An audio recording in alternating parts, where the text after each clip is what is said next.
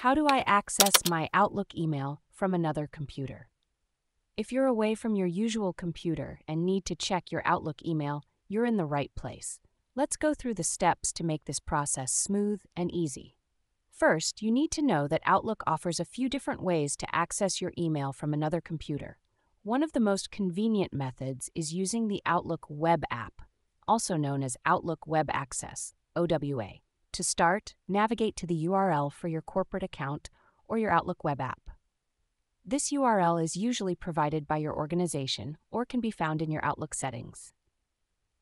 Once you're on the login page, you'll see a couple of options to select from. This is a public or shared computer, or this is a private computer. Choose the one that applies to your situation to ensure the right level of security. Next, enter your username in the NetID field and your password in the password field. Click Sign in to log in. The interface you'll see will look very similar to the Outlook you're used to, with a navigation pane, message view pane, and reading pane. To read or compose emails, simply click Mail from the navigation pane. You can perform all the basic email functions here, just like you would on your regular computer.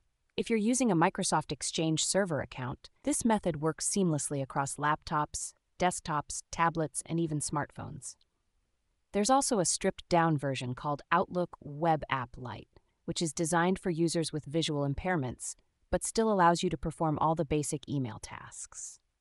Another option, if you're using Google Workspace with Microsoft Outlook, is to install Google Workspace Sync for Microsoft Outlook, GWSMO, on each computer you plan to use. This allows you to access your Google Workspace mail, contacts, and calendar events from any of those computers.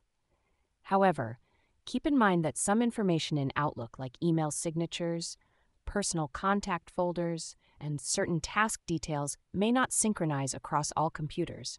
You'll need to set these up on each computer individually.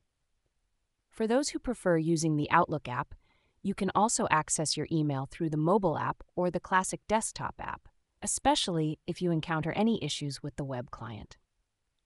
In summary, whether you're using the Outlook web app, the mobile app, or the desktop app, accessing your Outlook email from another computer is straightforward and convenient.